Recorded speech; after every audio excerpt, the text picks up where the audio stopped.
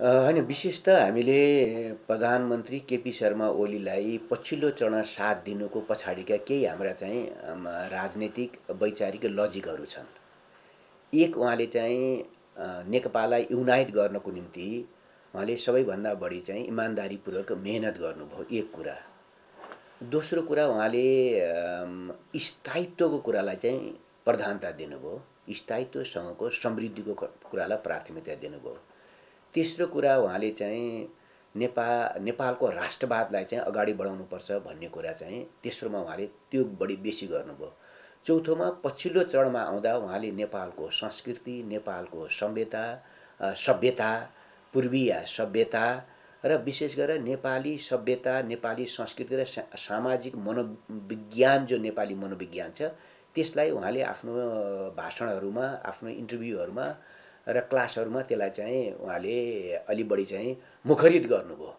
यी सबै कुरा के थियो भने कमरेड केपी शर्मा ओलीको नयाँ आधारको नयाँ वैचारिक आधारको खोजी थियो र मुख्यत स्थायित्वतिर लानको निम्ति नै उहाँले मेजर रोल दिनुभयो हुनाले हामीले यो आधारमा केपी शर्मा ओलीलाई चाहिँ हामीले साथ दिएका हौँ। र परिस्थिति हामीले पोलिटिकल्ली सोचेको भन्दा परिस्थिति सर्वोच्च अदालतको फैसलाले हामीलाई दायाँ बायाँ गरे पनि मुख्यत पोलिटिकल र वैचारिक एजेन्डा नै मुख्य कुरा हो।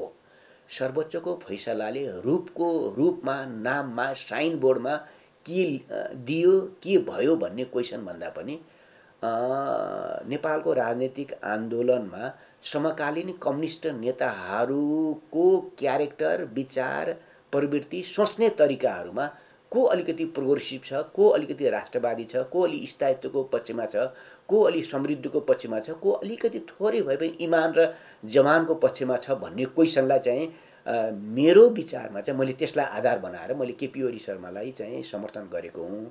र हिजोको चाहिँ फैसलाले पनि चाहिँ त्यति धेरै त्यो त्यो कानुनी फैसला हो। त्यो कानुनी फैसलाले पोलिटिकल एजेन्डामा फरक पार्दैन भन्ने चाहिँ मेरो विश्लेषण हो। होइन उठ्नु त उठ्न सक्छ र उठ्ने कुरालाई मैले अन्यथाको रूपमा लिँदैन। नेपालको कम्युनिस्ट आन्दोलनको नियति नै यस्तै छ। क्रान्तिकारी विरासतबाट आफूलाई सुरुवात गर्ने र चाहिँ कम्युनिस्ट भाषामा दक्षिणपछि विरासतमा गएर त्यसको अन्त गर्ने। त्यो कमरेड प्रचण्डको पनि त्यही भयो। होइन अरू साथीहरूको पनि करिब त्यही भयो। तर मेरो पछिल्लो विश्लेषण के हो भने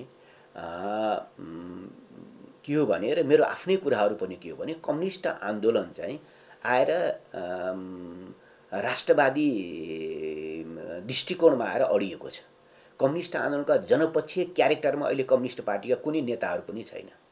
जनपक्षीय र चाहिँ प्रोग्रेसिभ क्यारेक्टरमा कोही पनि छैन। सबै बुर्जुवाकरण भइरह भइरहेको स्थिति हो कम्युनिस्ट पार्टीका नेताहरू।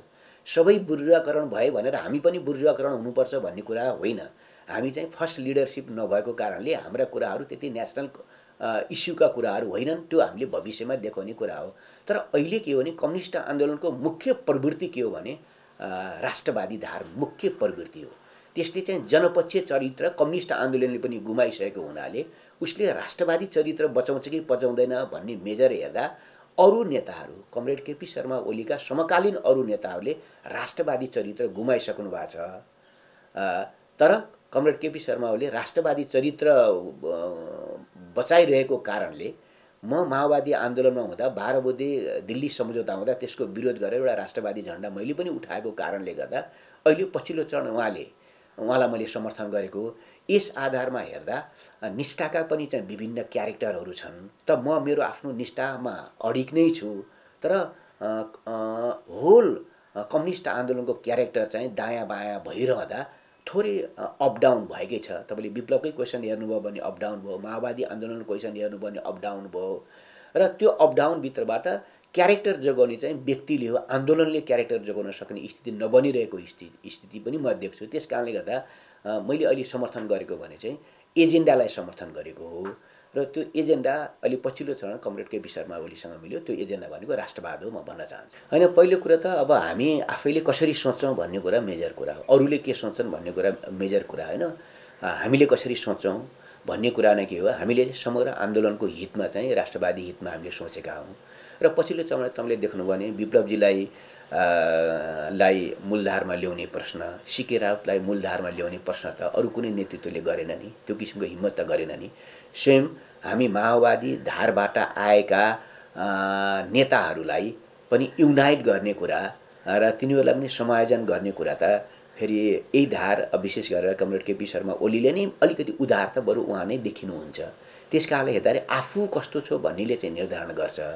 तर यहाँ सबै प्लेटफर्म हेर्नुभयो भने कुनै पनि प्लेटफर्म तपाईँलाई चाहिँ प्लेटफर्म त्यति सुन्दर तपाईँले देख्नुहुन्न। सुन्दर त आफूले बनाउनुपर्छ आफूले स्ट्रगल गर्नुपर्छ। होइन अहिले हामीले यो पछिल्लो चरण नेकपाभित्रको अन्तसङ्घर्षको सन्दर्भमा हामीले जे जति पूर्व माओवादी आन्दोलनका साथीहरूले कमरेड केपीहरूलाई हामीले समर्थन गऱ्यौँ मूलत ती सबै साथीहरूले अन्तिमसम्म नै यो स्ट्रगलमा कमरेड केपी शर्मा ओलीलाई समर्थन गर्नुपर्छ भन्ने नै मैले धेरै देख्छु। त्यसका केही प्राविधिक तुट प्राविधिक समस्याहरू छन्। ती प्राविधिक समस्याहरू कसरी हल हुन्छन् त्यो आफै हेर्न बाँकी छ र पोलिटिकल्ली चाहिँ उहाँले लिएको र पछिल्लो चरणमा पार्टीभित्र चाहिँ दुई लाइन सङ्घर्ष हुँदा पार्टी एकताको पक्षमा कमरेड माधव नेपाल कमरेड प्रचण्डलाई पनि मिलाएर जानुपर्छ र मैले प्रधानमन्त्री अथवा पार्टी अध्यक्ष छोड्न पनि तयार छु तर तपाईँहरूले पार्टीको विधान विधि पद्धति अनुसार पर्खनुहोस् भन्ने खालको उहाँले जो सन्देश दिन कोसिस गर्नुभएको थियो त्यो सन्देशबाट चाहिँ हामी अलिकति प्रभावित हौँ।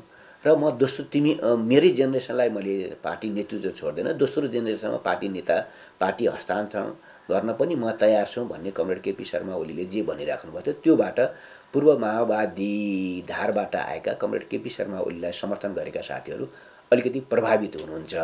तर मूलत चाहिँ उहाँलाई नै समर्थन गर्ने दृष्टिकोणमा हामी जान्छौँ भन्ने मलाई लाग्छ। होइन अब विशेष गरेर अब सरकारको क्वेसन चाहिँ चाहिँ अब एकल सरकार बनाउन सक्ने स्थिति रहेन। अब दुई पक्ष त्रिपक्षीय सरकारकै संयुक्त संयुक्त सरकार भनौँ अथवा संयुक्त सरकारकै रूपमा चाहिँ आउने स्थिति बढी बन्या हुनाले सरकारको स्थायित्व र सरकारको काम त्यति प्रभावकारी हुने चाहिँ म देख्दैन। जसको सरकार भए पनि जसको नेतृत्वमा सरकार भए पनि। अब सरकार जनताको चासो होइन। दुई तिहाईको सरकार भएकोले त जनताका पूर्ण आकाङ्क्षाहरू पुरा गर्न सकेन। जनतामा केही निराशाहरू आयो आउन कोसिस गर्यो भने अब यो खालको जुन बन्ने सरकार छ यो टुटफुटबाट बनेको सरकारबाट जनताले त्यति धेरै आशा गर्नुपर्ने स्थिति चाहिँ म देख्दैन र त्यो सम्भावना पनि छैन। अब मुख्य चाहिँ निर्वाचनकै बाटोमा जानुपर्छ।